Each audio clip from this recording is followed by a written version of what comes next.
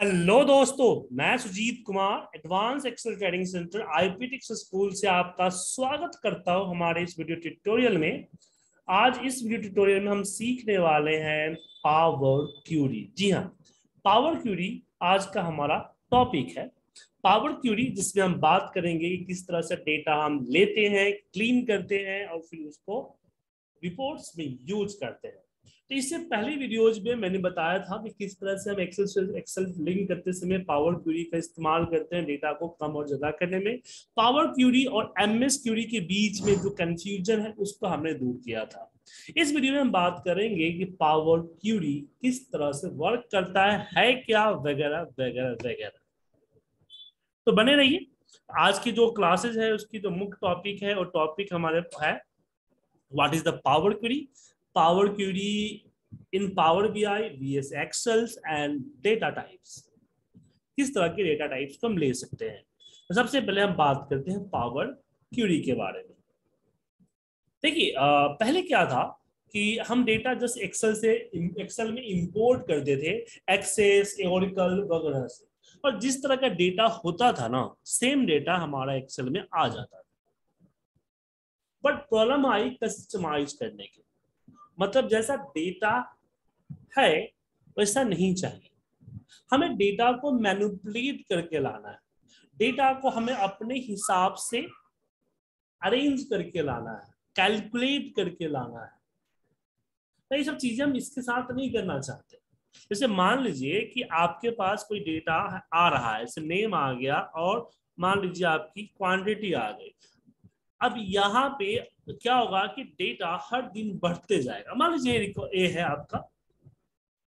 से आया हुआ है डेटा तो मान लीजिए कि आपने जस्ट डेटा को इंपोर्ट कर दिया कैलकुलेट नहीं किया। चूँकि कैलकुलेट एक्सेल में हम कर ही लेंगे।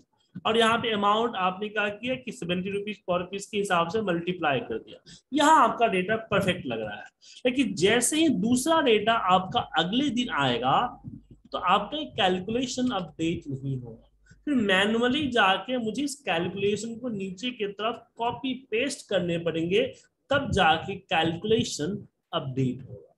तो ये आपके पास क्या ड्यूटी हो जाती है कि हर दिन आपको जो है अलग अलग हर दिन सारे जितने भी कॉलम्स है, जितनी कैलकुलेशन ऊपर के नीचे करते रहे एक ये प्रॉब्लम होती है। दूसरी प्रॉब्लम आती है रिलेशन की। जैसे मान लीजिए कि आपके पास चार अलग अलग डेटा मॉड्यूल है क्योंकि तो एसक्यूएल में हो सकता है या आपके पास जो भी सॉफ्टवेयर यूज़ करते हैं, उसमें हो सकता है। चार टेबल हो सकते हैं। अब उन चार टेबल का डेटा मुझे एक्सेल में लेके आना है। जैसे मान लीजिए कि जो हमने यहाँ पे अमाउंट है, ठीक है क्वांटिटी आ गई आपकी सेल्स सेल्स डेटा से। अब आपको जो रेट लेके आना है ना वो आपकी प्रोडक्ट डेटाबेस से लेके आनी है, जो कि डिफरेंट टेबल है डिफरेंट लोकेशन पे पड़ी हुई है। उसके बाद इसमें जीएसटी के परसेंटेज कितना लगेगा, वो कोई और टेबल से आएगा। ये आपका डिस्पैच हुआ है, नहीं हुआ है, ये कोई और टेबल से आएगा। तो कई सारे टेबल पे आपके डेटा पड़े हुए हैं, उन डेटा को एक रिलेट करके जैसे हम लोग वी लुकअप यूज़ करते हैं डिफरेंट डिफरेंट शीट्स में जब डेटा पड़ा रहता है, उसको वी लुकअप करते हैं, करके लेके आते हैं, उसी तरीके से आप ये चीज़ें कर सकते हैं। वो भी बैकएंड में पावर क्यूरी की मदद से। तो पावर क्यूरी का काम जो होता है, वो होता है डेटा को इंपोर्ट करना, डेटा को मैनुपलेट एंड क्लीन करना कैलकुलेट करना रिलेट करना अपेंड करना इस सब चीज़ों पे इसका यूज़ किया जाता है। तो जो अब हो कैसे यूज़ करते हैं? सिंपल सा है कि आप जब, ऐसा नहीं कि पावर क्यू आप अलग से लगा लेते, नहीं। जब डेटा आप इंपोर्ट करते हैं ना, उसी समय पावर क्यूरी की ज़रूरत पड़ती है। चाहे जिस मोड में डेटा आप इंपोर्ट करो। जैसे कि मैंने एक सिंपल सा एस डेटा को यहाँ इंपोर्ट किया। इंपोर्ट करते समय मैंने डेटा को चेक किया कि मेरा डेटा ठीक ठाक है या नहीं है। मुझे लगा कि इसमें कुछ चेंजिंग की ज़रूरत है तो मैं लोड करके एक्सेल में चेंज नहीं करूँगा, सीधे ट्रांसफॉर्म करके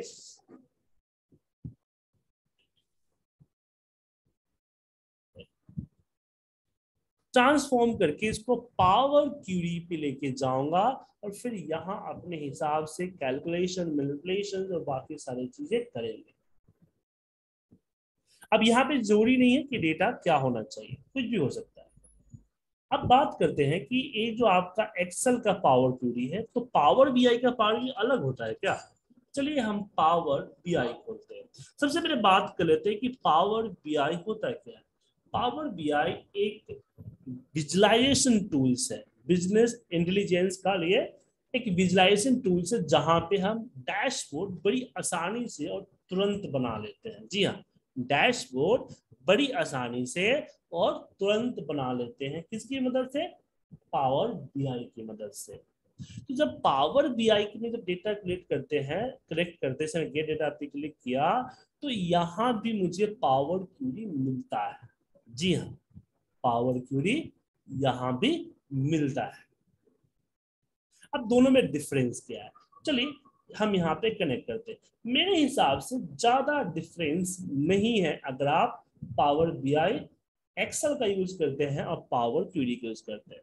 सॉरी पावर बीआई में पावर क्यूरी यूज़ करें या एक्सेल में पावर क्यूरी यूज़ करें, दोनों में। यहाँ पे सिलेक्ट करके मैंने ट्रांसफॉर्म पे क्लिक किया अब जो पावर क्यूरी खुल के आ रही है, इसका पावर बीआई की, ये जो पावर बीआई की पावर क्यूरी है। और जैसे कि आप देख पा रहे हैं कि इसमें और जो हमारी एक्सेल की जो पावर क्यूरी है, उसमें कोई खास फ़र्क आपको नहीं दिखेगा।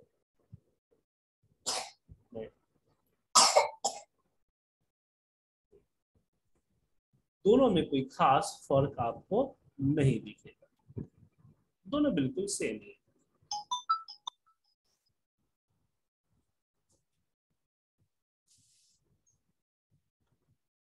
ये थी हमारे पावर अब हम बात करते हैं कि पावर क्यूरी में जब डेटा लाने से पहले क्या क्या चीज़ें देखी किस तरह की डेटा होती है, कैसे डेटा की करते हैं, इसके बारे में जानते हैं। तो डेटा टाइप्स के बारे में जानते हैं। देखिए डेटा टाइप्स जब डेटा इंपोर्ट करते हैं तो दो चीज़ होती है। पहली, कि आपका डेटा इंपोर्ट कहाँ से कर रहे हैं? लोकेशन मतलब सर्वर है ऑनलाइन है फ़ाइल है, वगैरह वगैरह। दूसरा होता है कि डेटा का टाइप क्या है?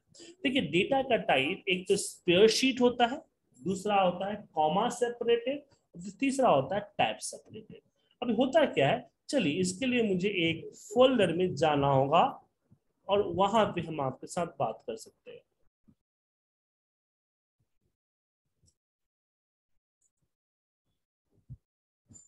देखिए, ये हमारा नॉर्मल जो स्पेस शीट है, जो एन डेटा आप देख पा रहे हैं, जो एक्सेल फ़ाइल जिसको हम बोलते हैं, ये हमारा स्पेयर शीट है। जी हाँ स्पेयर शीट मतलब एक्सेल का फ़ाइल है, ये स्पेयर शीट कहलाता है। दूसरा आता है आपका नोट पैड की फ़ाइल अब नोट पैड की फ़ाइल जो आप देख पा रहे हैं, इसको बोलते हैं टैब सेपरेटेड मतलब कि है तो नोट पैड की फ़ाइल लेकिन एक कॉलम से दूसरे कॉलम के बीच में टैब का सेपरेशन है। तो इसको बोला जाता है टैब सेपरेशन टैब सेपरेशन के बाद हम बात करते हैं C S V comma separate अब सेम डेटा यहाँ भी आप देख पा रहे हैं, लेकिन एक कॉमा सेपरेटेड है तो कि एक कॉलम से दूसरे कॉलम के बीच, जैसे देखिए यहाँ पे नेम और रोल नंबर के बीच में हमारा कॉमा जो है ना, वो इम्पोर्टेंट है। तो एक कॉमा सेपरेटेड कहलाता है।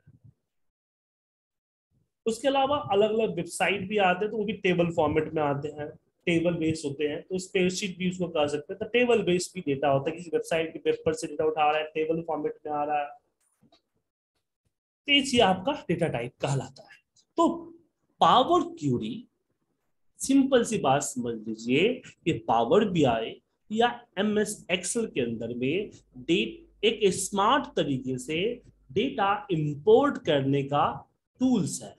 जो कि एक्सेल आपको एक्सेल के अंदर भी मिल जाएगा और आपको एक्सेस के ए, क्या बोलते हैं पावर बीआई के अंदर भी मिल जाएगा।